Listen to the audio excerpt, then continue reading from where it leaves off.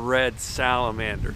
This is the only the second one I've seen here in 10 years, so I'm really excited.